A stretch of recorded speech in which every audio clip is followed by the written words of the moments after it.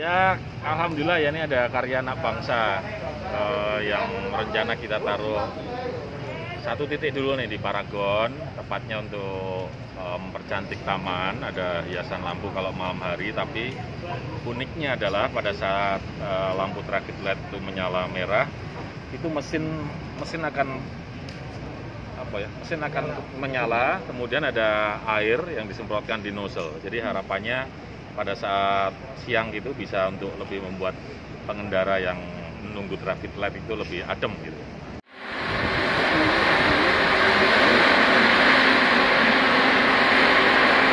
Nah, beberapa titik.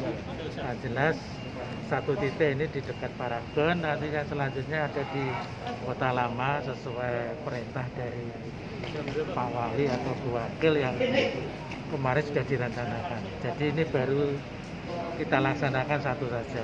Itu untuk berikutnya nanti kita melihat perkembangan. Yang jelas yang satu lagi nanti ada di eh, Kota Lama. Nah, nanti seperti apa masyarakat menerimanya akan kita tindak.